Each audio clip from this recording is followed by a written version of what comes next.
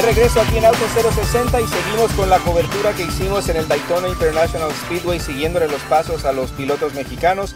Ahí en el segmento anterior hablamos con Carlos Contreras, el primer mexicano, el primer hispano que estuvo en la NASCAR en general. Y después, ahora aquí en este segmento, vamos a hablar con Germán Quiroga, el tres veces campeón de la serie NASCAR de México, que ahora está ya en su segunda temporada completa en la Camping World Series. Eh, el año pasado estuvo muy cerca de ganar alguna carrera y este año ese es uno de sus objetivos. Además, por supuesto, de ganar el campeonato y más adelante eh, ¿por qué no? Subir hasta la Nationwide y después el Sprint Cup y convertirse en el, eh, un mexicano más que está teniendo éxito en la NASCAR acá en Estados Unidos. Así que escuchemos la entrevista con Germán Quiroga que hicimos ahí el viernes antes de la carrera inaugural de la temporada 2014 al lado de su camión donde estaban preparando la camioneta y eh, él mismo preparándose para la carrera.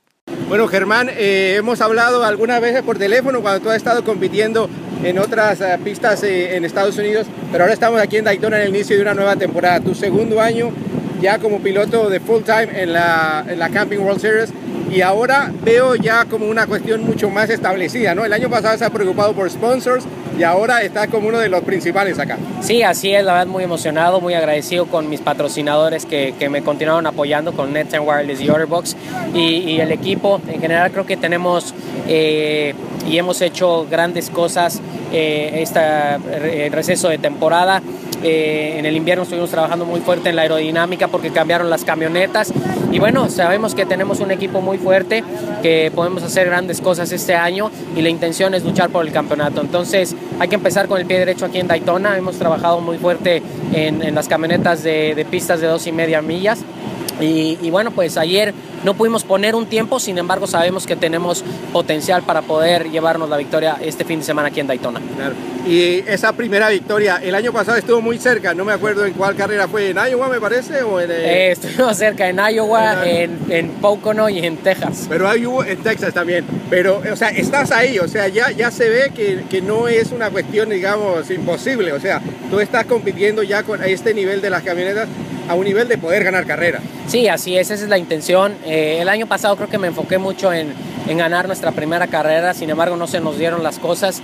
Este año vamos por, por puntos y la carrera va a caer, estoy seguro. Creo que eh, la manera que se formó el equipo desde la cabeza de mi ingeniero y toda la gente para abajo es muy profesional, con mucha experiencia y eso me va a ayudar muchísimo a que yo pueda eh, estar mucho más tranquilo dentro del coche, sabiendo que todas las piezas eh, extras que obviamente son clave para que yo pueda eh, tener éxito van a estar trabajando muy fuerte para que eso se pueda dar. Ya. Y a veces la gente no se da cuenta, ¿no? Porque es el gran equipo que hay detrás de un, de un piloto como tú aquí en la NASCAR, eh, la, gran cantidad de gente, los factores que, que, influyen en poder ganar esa carrera, obviamente tu talento al volante es, digamos, el, el, punto final, pero hay mucha gente trabajando contigo, ¿no? Sí, claro, es muy importante el trabajo que, que pone todo el equipo, eh, desde construir las camionetas, hay gente que se queda en el taller, que, que no viajan a las carreras, eh, muchas familias dependen de, de, cada una de las camionetas que está aquí en el garage y bueno, pues para mí es un honor poder obviamente manejar una de estas camionetas, representar a mi país, a mis patrocinadores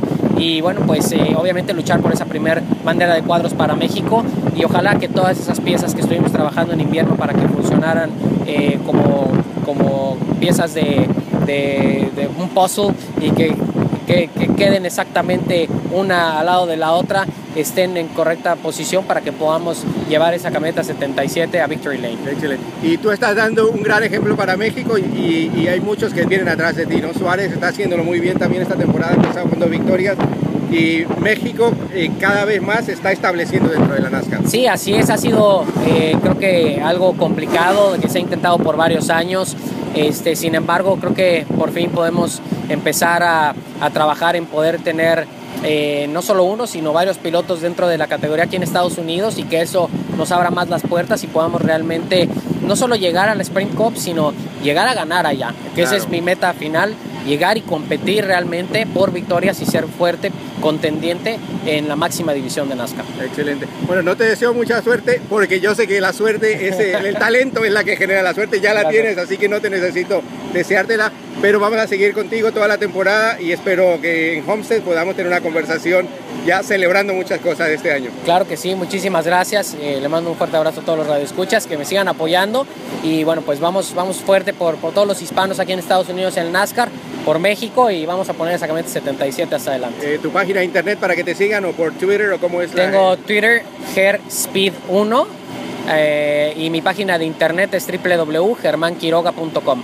Excelente. Bueno, Germán, estamos hablando próximamente. Muchas gracias. Bye. Bye. Y bueno, eso fue la entrevista antes de la carrera. El viernes por la noche, después de que la lluvia interrumpió, mejor dicho, retrasó casi dos horas el inicio de la primera carrera de la temporada de la NASCAR Camping World Truck Series en el Daytona International Speedway. Germana Quiroga arrancó desde el puesto 23, estuvo peleando ahí durante toda la carrera y después aprovechó una, un accidente en el que involucró a 14 camionetas en la vuelta 74, justo cuando él había entrado a pits, así que esa puede ser un factor suerte que cuenta mucho en la NASCAR también, además de la habilidad y el equipo eh, con el que corren los pilotos, así que después de ese incidente eh, salió, reinició en, la, en el puesto 17 y terminó en el puesto 10, así que ha empezado Germán Quiroga con un top 10 el inicio de la temporada 2014 en la Camping World Truck Series. Así que por ahora eh, sigue esperando esa primera victoria en la NASCAR y seguramente lo va a lograr o va a seguir por lo menos luchando para conseguirlo en esta temporada. Germán Quiroga.